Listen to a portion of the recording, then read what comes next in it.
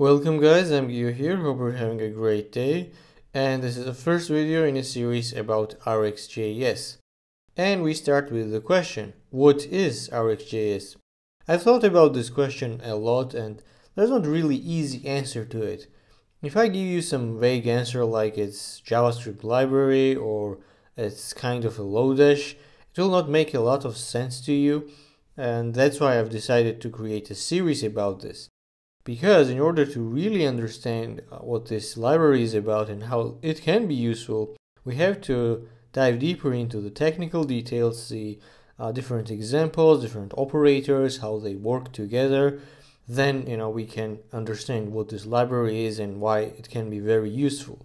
In this video, we're not going to write some code or go into very technical details. As I've said, we will have some general overview of RxJS and uh, we will see some hypothetical problems and talk about how we can solve them in different ways. Now there are some misconceptions about this library that I've personally encountered uh, in my career and I want to talk about them first. So what RxJS is not? It's it's not Angular. You know, people think that uh, especially if they've never used RxJS before and started using Angular, people think that it is it can only be used with Angular because a lot of APIs that Angular provides use RxJS and observables interface. But that's not true. It's a standalone library and it doesn't depend on Angular or you know any other framework or library for that matter. You can use it with React, you can use it on Node.js. The second one is tied to first one because Angular uses TypeScript and a lot of RxJS there uh, in Angular is using TypeScript as well. And people think that it is a TypeScript library, but it's not. You can use plain JavaScript, and that's uh, what exactly are we going to do in this series. We're not going to use Angular or TypeScript or anything else. We will just use RxJS and we'll uh, write the code with plain simple JavaScript without any frameworks or tools. So then you can take this and use in your own environment. And if you look at the name, it is called RxJS, not RxTS. So it's not TypeScript library. Another thing that comes up when uh, talking and discussing RxJS to my colleagues and you know uh, developers in general is that uh, this comes up. You know, it's difficult to learn. It's not really. RxJS has some couple of core ideas behind it, some common operators that you're going to be used most of the time, and uh, to really learn them is, is not hard. It's it's really easy and simplistic. Now, what is difficult though is to properly use this library to gain benefits and value out of this, because it's very easy to misuse this library. It requires different type of thinking and to get into that type of thinking you have to practice you have to put in the effort and you have to try different examples you have to try RxJS with different problems and eventually you'll get this feeling for that type of thinking you know and the thinking in terms of observables and how they interact with each other. And this will really help you to have some systematic consistent way of thinking about the complex problems. That's that's that's what is difficult. Not that it has just some couple of functions and operators there there's nothing difficult about them and it's not a silver bullet what i mean by that even if you're gonna learn this and use RxJS, you're still gonna make some mistakes you'll have some bugs. You, you're not gonna write some perfect code because you have used RxJS. It still requires some time and skill and effort to really get the value out of this. This is this is a kind of intro that I wanted to make before we talk about more about RxJS and what it is capable of. So as this is out of the way, I want to present you some uh, hypothetical problems. And as we go through the problems, I want you to stop and uh, think about the problems and how would you solve these problems. And also I want you to observe your thought process because the most important thing about this RxJS is that we have to think differently about different problems. This is very important to understand your current habits and how you tackle the problems right now so we can have some um, comparison between what RxJS requires and what you're doing right now. So let's uh, jump into the first one and talk about it. Let's say we have this hypothetical website here of games. These are games, the list of games here, and we have a search input. Now, as user types into this search box here, we want to make this uh, real-time search. So we have to make request to our API, and then we will get the necessary games that match the given query string and then we will have to display them here in this area. Now, because there is not a click button or something, you, we, it has to be real time as user is typing. User is expecting to get the results as the typing happens. Now, here's the trick though. We don't want to make every request on every keystroke. You know, what we want to do is let the user type in the string and after some time, maybe two or three seconds later, we want to make the request.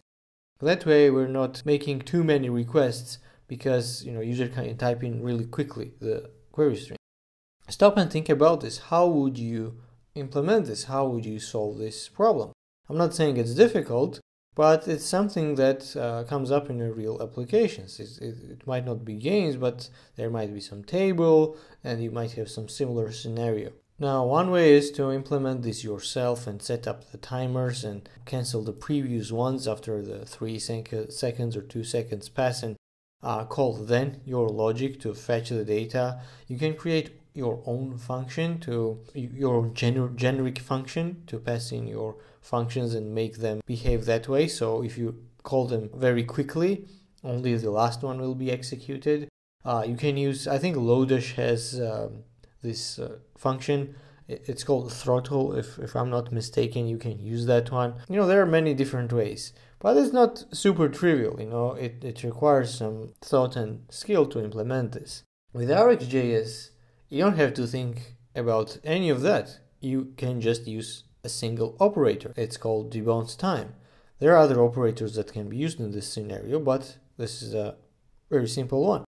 You can just pass in the time and that's it. It will just work. And you don't have to write about some extra library. You don't have to worry about writing your function to achieve that and so on. You can just represent this search string as observable and that's it.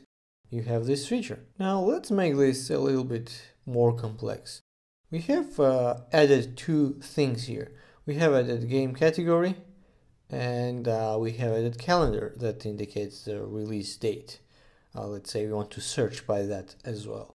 The This is becoming a trickier because there are a couple of things here. First of all, we have to load categories from our backend. So we have to get this list. And once we get the list, we have to set first item in the list, whatever that is, as the value for this select box. We also shouldn't make any requests until this list is resolved and until the category is selected. We also have to keep in mind that the search functionality that we talked before uh, needs to be the same, so we don't want to make requests on every character that the user is going to type.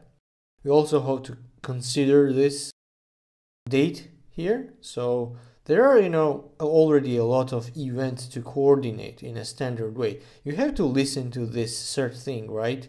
We also have to make sure that we load this and once the, the, this data is loaded, we set this uh, first category here. And then we also have to listen to its changes. So many events there. Also, we have to look at this and uh, when user changes the value or select some date, we have to listen to this event as well. On all of these events, we have to look at the other values, take them, and uh, coordinate and orchestrate all this flow. What makes things even more difficult is that if we make this uh, search panel persistent, meaning if user just closes the browser and opens up again and we want to display whatever was previously here. Now we have to also wait if something was uh, previously typed and uh, it adds more complexity. It's certainly manageable, but it's getting difficult because there are lots of events to coordinate and lots of conditions. You know, we don't have to make requests until we resolve this value or until we load the previously entered filter values here. It's difficult. With RxJS, this can be very easy. We can represent those things as observables and we can then combine them. And uh, once we get the combined result uh, we can use combine latest. It's there. We can make request display this here. We can represent the list of selected items as observables and we can set the items here and we can also subscribe to it. So what we will do with RxJS is take these events or uh, pieces of data and represent them as observables and then chain them together, which is very easy once you get used to this library. Now in a real app, there can be, you know, other tons of filters here and it will make things more and more complex as more events will be presented to us and we have to orchestrate all of that together. Let's look at another example. This is a registration form and uh, there are a couple of requirements. As user is typing the email we have to make it real-time check and the same constraint applies as we had for a search. We have to you know wait until user is finished with the typing of email and then make it make it a request to our server to check if it is taken or not. If it is taken we display this message. Email is already taken. Also we have to you know now look at the register button here. If email is taken, we have to disable this. We have to make all of these changes real time. Now, if you look at this, there are not a lot of events, but there are different pieces of UI that depend on different types of data, and this data is retrieved real time. And here again, uh, we can represent this email as observable as it is changing. We can make another observable that is called email is taken so we have this flag as observable, then depending on that, we can just disable this and update the UI. If we don't use that, then we have to again use some our custom function to make the requests uh, when necessary. When user types finishes typing the email we have to listen to it then we have to you know manually change the DOM or update some variable that is required for this and for register button and so on. Another example here let's say we have some group chat and uh, there are a couple of things we have to consider. So we have to load the initial messages. We have to listen for new incoming messages. Uh, we also have to display indicator when someone is typing. And uh, when we send a new message, we have to add this here. But when we get it back from the backend, we have to make sure that uh, our message that was added isn't shown again so we don't have this bug here as you see there are a lot of events uh, here going on. Loading the initial passages then opening some socket connection WebSocket connection and uh, waiting for the messages and combining them then sending our message another event then uh, taking our message and merging it with already existing list. And it can get very difficult if we add more events. Let's check this example as well. So we have the country state and uh, city selector all of this data is coming from the API. We have to load the countries and then whatever the first country is, we have to select this. Then depending on a country selection, we have to load the cities in the given country. And if the country has the states, then we have to load the states, select the first state. And if the state is applicable, then we have to disable all the other cities that are not even in a given state. It can seem, seem very simple, but there are a lot of events going on. You have to wait for the countries to load and select the first one. Then you have to listen to country selection. Then you have to make request or if data is not available to see if the country has the state and if, if so then you have to load the states make the first state selected and based on the state selection either by programmatically and you set the first one or when user selects one from the list then you have to alter the city uh, options and make the ones disabled that are not in a given state. And this can get even tricky if we add more things and events and more dynamic parts of the form. Now with RxJS we can represent all of the things as observables and then combine them with common operators and subscribe to these observables and make the changes in the UI because there are lots of UI parts that depend different uh, types of data. Uh, as you've seen throughout this uh, hypothetical examples, uh, there the complexity uh, is increasing when we have different events. when the number of events increases and then we have to coordinate uh, these events together to achieve desired result. And as you've already guessed, reading such a code and handling this and maintaining it is, is really difficult because uh, we have to think about this. Okay, this event happens, then this can happen, or that event can happen. If this event hasn't happened yet, then I shouldn't do this or shouldn't do that. And there are many conditions, and all these things are intertwined. That's why it makes so difficult. And with RxJS, the good thing is that we think in terms of observables, and we'll talk about observables into details in the next video.